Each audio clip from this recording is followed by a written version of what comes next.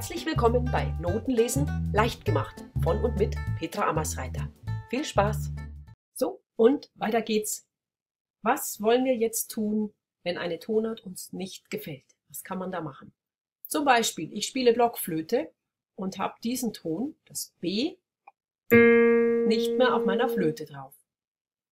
Oder ich spiele ein Instrument, wo ich mit Kreuztonarten einfach lieber spiele. Oder ich möchte mein Stück einfach ohne schwarze Tasten spielen. Was mache ich da? So, wir versuchen jetzt einfach mal eine Transposition von dem Lied Oh Susanna nach C-Dur. Was bedeutet Transposition? Das bedeutet ganz einfach das Umsetzen in eine neue Tonart. Jetzt hatten wir ja unser Lied in B-Dur. Ich spiele nochmal die passende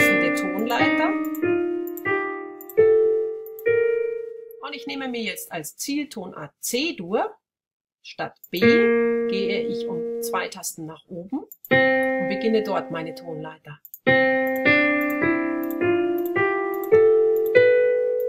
So wie wir sie kennen. Und dasselbe mache ich jetzt mit meinem Lied.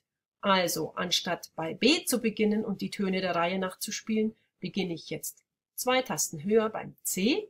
Ich gehe damit einen Ganzton nach oben und jetzt kann ich einfach der Reihe nach meine Töne spielen, muss mich jetzt auch nicht mehr um Vorzeichen kümmern, da C-Dur ja die Tonart ohne Vorzeichen ist. Also klingt unser Lied jetzt so.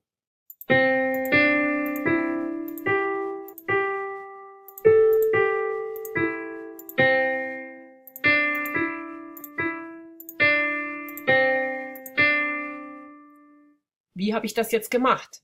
Ganz einfach, ich habe dieselben Tonabstände benutzt.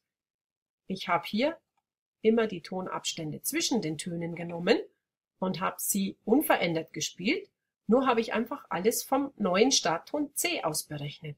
Also vom C aus und jetzt einfach einen Ton nach oben zum D, wieder einen Ton nach oben zum D, dann einen Ton auslassen hier, also hier vom E zum und so weiter. So transponiere ich also ein Lied. Schritt für Schritt die Tonabstände oder auch Intervalle genannt umsetzen in meine neue Tonart. Und weil es so schön war, versuchen wir es jetzt gleich nochmal und versuchen unser Lied aus B-Dur nach D-Dur umzusetzen. Also zwei Tasten höher. Ihr seht hier D, dieser Ton. Und wie ihr aus den vorangegangenen Videos wisst, ist D-Dur die Tonart mit zwei Kreuzen. Also jetzt muss ich mich wieder um zwei Vorzeichen kümmern, die heißen Fis und Cis. Die muss ich jetzt einbauen. Das werde ich aber auch gleich hören, wenn ich das vergesse. Also ich beginne beim D und setze wieder meine Tonstufen Schritt für Schritt um. Ah, da haben wir gleich das erste Mal, wo wir aufpassen müssen, nämlich unser Fis einsetzen.